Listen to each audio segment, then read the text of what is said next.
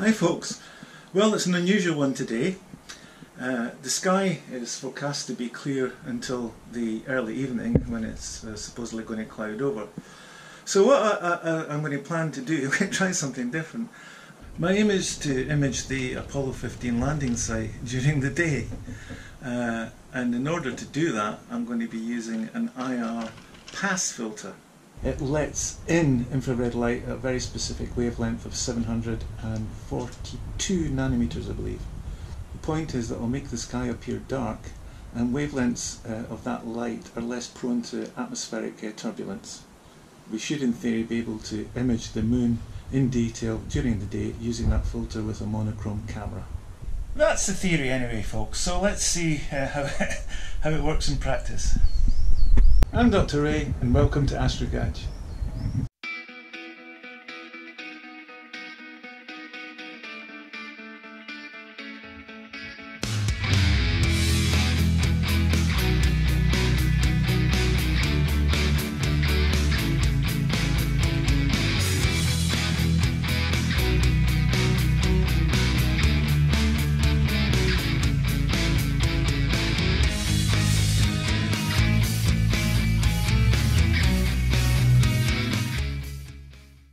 Well, here we are in Virtual Moon Atlas. Um, the Apollo 15 landing site, as I said, is in the Apennine mountain range. Uh, this is roughly what the, the phase of the moon is uh, today. And the Apennine mountain range extends from the upper central northern part of the moon. You can see here it extends down in a slight curve. The Apollo 15 mission was launched on the 26th of July, uh, 1971 it was at that time the most uh, difficult and dangerous of the landings so far attempted. It was to become the fourth successful uh, lunar landing in the Apollo program, and it was also notable for the fact it took uh, an electric vehicle uh, along called the, the Lunar Rover, which uh, allowed uh, a much wider field of exploration around the lunar module. Its landing site was here uh, and you can just about make out in this photograph uh, there's a little crater here called Hadley C and extending north to north to south uh, encompassing that crater is a rill called Hadley Rille.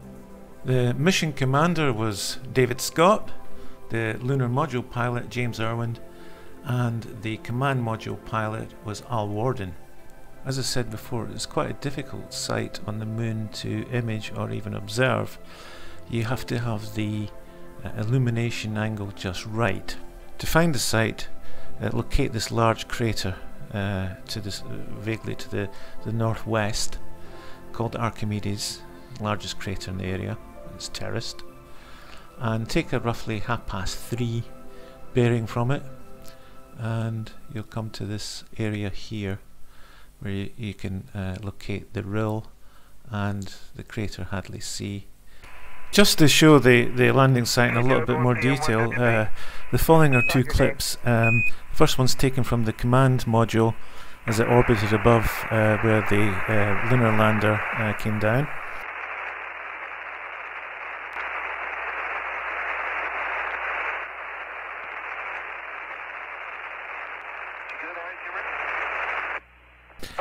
And the second clip is actually uh, a film taken uh, from the lunar module as it lands. 5,000 feet.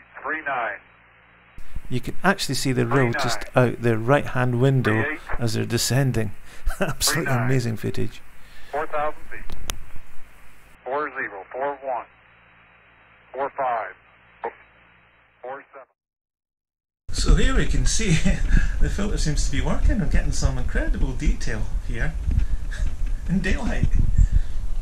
And you may be wondering what, why why I'm doing this, what the hurry is. Well, uh, tonight uh, the illumination for this particular um, area on the moon is, is most favourable. So uh, even uh, in the event that I get a clear sky tomorrow, uh, it's not going to be as well illuminated. So fingers crossed. So okay folks, I thought I'd push it a little bit and see how far we could go with this given the conditions. So what I've done is I've put a two times Powermate uh, on the telescope so really push the uh, push the focal ratio getting some really, really nice data. Wow. So we're actually imaging at f30.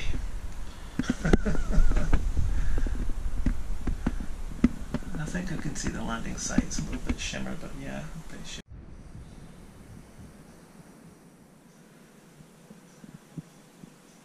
Well, folks, there it's it. Everything seems to have gone uh, pretty well. Uh, the, the filter seems to have done its job remarkably. Um, I, I, think I've got some quite nice data. So what we'll do now is we'll have, a, a as usual, a quick romp through uh, what I did to process it.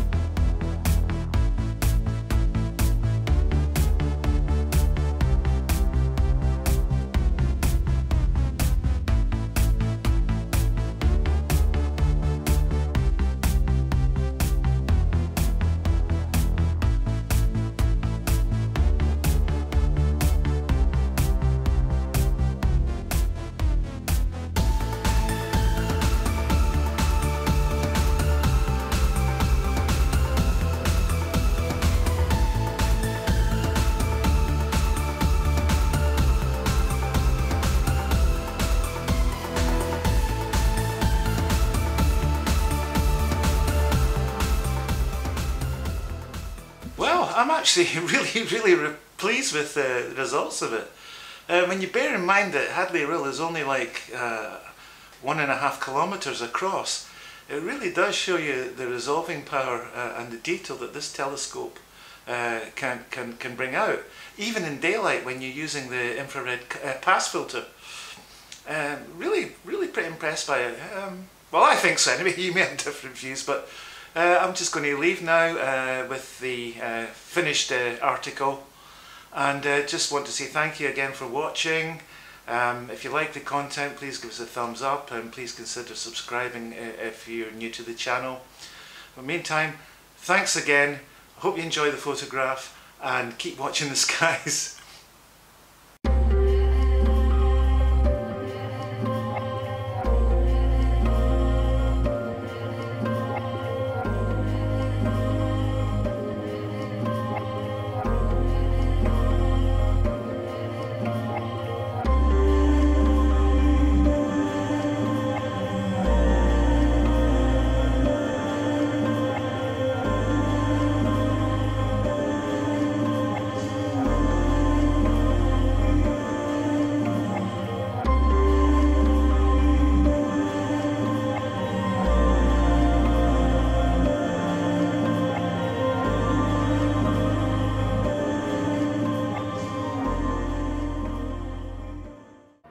Watch the skies everywhere.